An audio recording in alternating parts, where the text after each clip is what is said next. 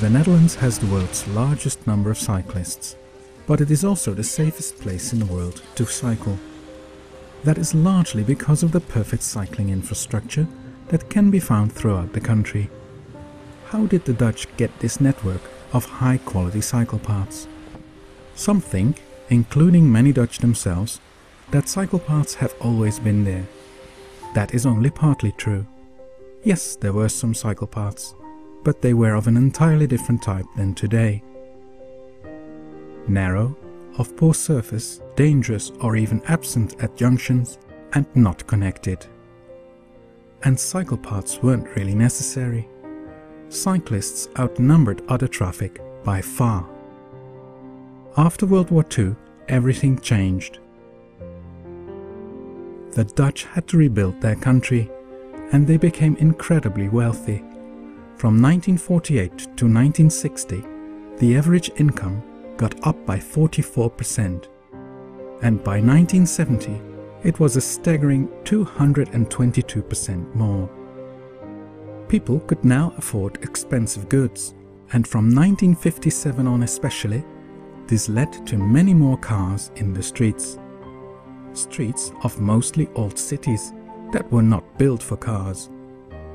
So buildings were demolished to make room for the car. Even some of the old cycling infrastructure was removed.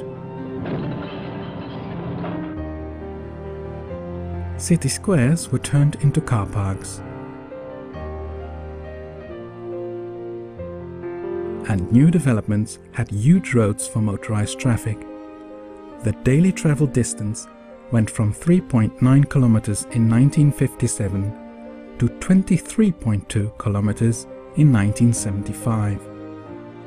But this progress came at a terrible cost. Cycling was marginalized, it decreased by 6% every year, and 3,300 lives were lost in 1971 alone.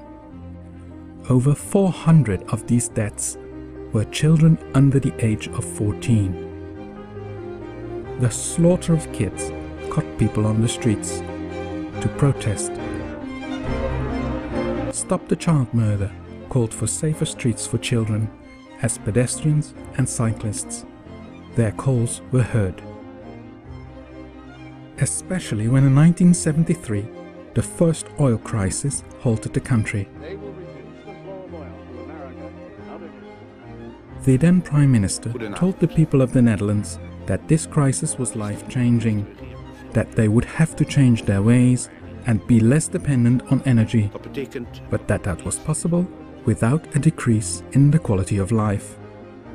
Policies to encourage cycling fitted perfectly in that picture. The car free Sundays to save oil were a reminder to people of what the cities looked like without cars.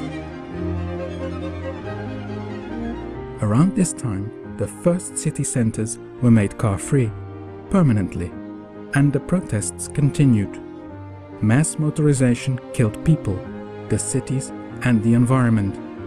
Mass cycling tours through the cities of the Netherlands and smaller protests in favor of cycling facilities created an awareness that eventually changed thinking about transport policies.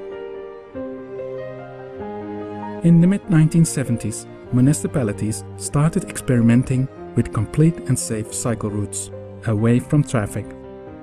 Financed by the national government, the first cycle routes were created from scratch in Tilburg and The Hague.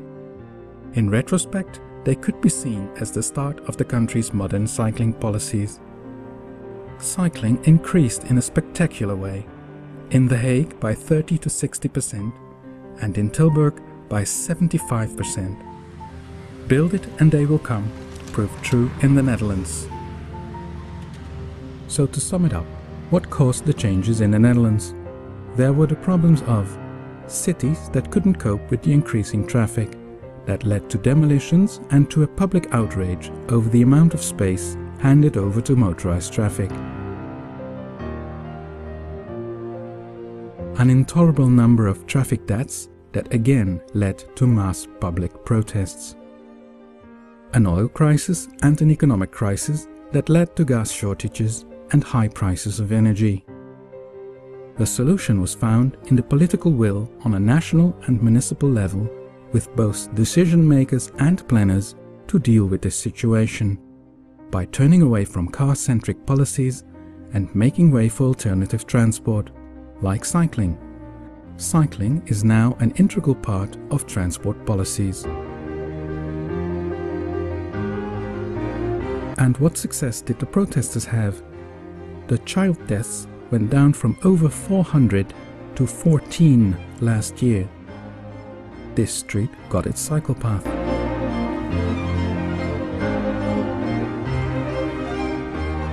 This bridge didn't keep its cycle lane. Instead, it got a cycle path. This painted cycle lane became a permanent cycle path, and cars were totally banned from here. It is the now famous site of the I Amsterdam sign. Earlier, also a site of one of the mass protests. The protesters would have been a lot more comfortable lying down there today. The Netherlands' problems were and are not unique. Their solutions shouldn't be that either.